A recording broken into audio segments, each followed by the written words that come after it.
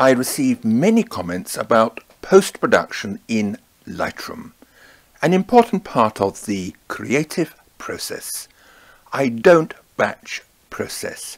Every landscape is different, even from the same location on the same day. Furthermore, how I set the camera controls and the way I take photographs for each shot is with Lightroom in mind. This can only be achieved through practice and is far removed from the convenience of instant gratification. If this is your preference, then stick with JPEGs. Turning first to the camera, which is the Olympus OMD EM1 Mark II, I only set those controls from which I can backtrack if I change my mind later. That can be quite often because what I do today could be different tomorrow. I don't use filters, sharpening camera or increase saturation. If such changes are important, where possible, they are best done in Lightroom. I keep camera controls flat, that is, without change. However, I prefer to spot meter and underexpose every shot by minus 0.3 EV to hold highlights. I only bump the ISO up from 200 when there is no choice, but as OMD cameras have superb image stabilizers, that is often not necessary for hand holding. All shots are saved to RAW, by all means save to JPEG as well, but I prefer to control all post-production to the RAW file as it is an important part of the entire creative process. I am in charge. How much work is done in Lightroom is debatable. Certainly, if you increase the shadows or black sliders too much, noise increases. Therefore, moderation is essential with enthusiasm kept under firm control. As I am working on an unprocessed digital image, I implement as much work in Lightroom that is possible. A final JPEG copy is only made when Lightroom adjustments are completed. I could save to TIFF instead of JPEG or resize the image for projection or YouTube. The original out-of-camera RAW file is kept and archived. Here are both original RAW and JPEG files from the same image, the latter digitally processed by the camera. The overexposed highlight bottom right in the JPEG file is still there. The RAW file can be corrected in Lightroom.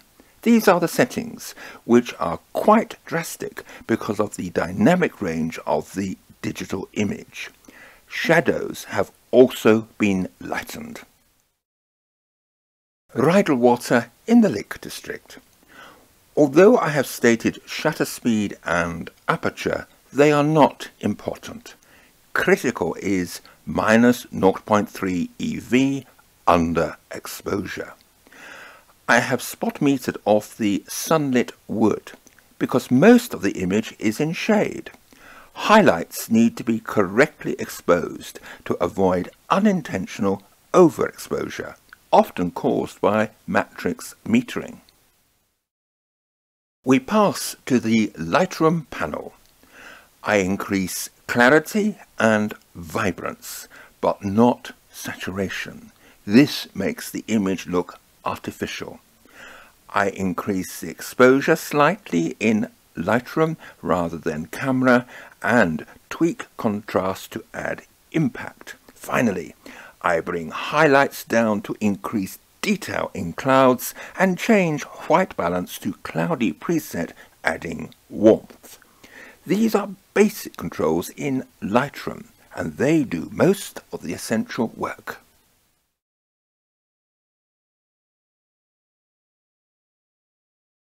The camera settings for Scout Scar are similar to Rydal Water. It was later the same day, but the lighting dramatically different within an hour of sunset.